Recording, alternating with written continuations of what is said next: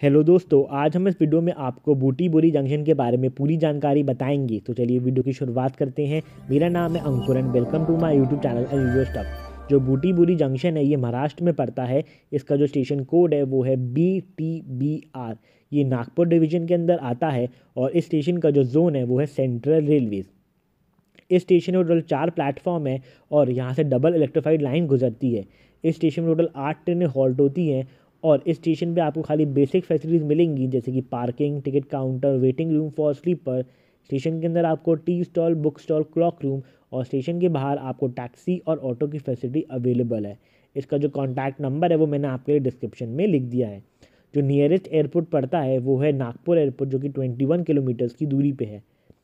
और स्टेशन के बाहर आपको बहुत सारे होटल्स और लॉन्च मिल जाएँगे, जैसे कि अनुज गेस्ट हाउस और गोकुल लॉन्च जहाँ पे आप रुक सकते हैं. तो चलिए अब जानते हैं कुछ इंटरेस्टिंग फैक्ट बूटी बुरी रेलवे स्टेशन के बारे में।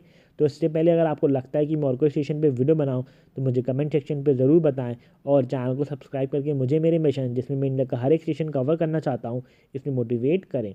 तो जो बूटी बुरी रेलवे स्टेशन है, ये एक इलेक्ट्रोफाइड रेलवे स्टेशन है, जिसमें डेली लगभग 300 से 500 पैसेंजर्स ट्रैवल करते हैं। ये वर्धा नागपुर लाइन के बीच में पड़ता है और ये एक जंक्शन है जो समुद्र से लगभग 269 मीटर्स की ऊंचाई पे है। इस स्टेशन की जो कैटेगरी है, वो है N S G six category E का माना जाता है। जो मेजर ट्रेनें स्टेशन पर रुकती या गुजरती हैं, वो है रायपुर, सिकंदराबाद एक्सप्रेस और बहुत सारी पैसेंजर ट्रेनें जो वर्धा, नागपुर काजीपीठ और अजनी के बीच में चलती हैं। तो जो बूटी बुरी रेलवे स्टेशन है, ये नागपुर के पास पड़ता है और ये अपने फ़ूड पार्क और इंडस्ट्रियल एरिया के लिए बहुत ज़्यादा फ़ेमस है। तो आज इस वीडियो में इतना ही। चैनल को लाइक और सब्सक्राइब ज़रूर करें। धन्यवाद।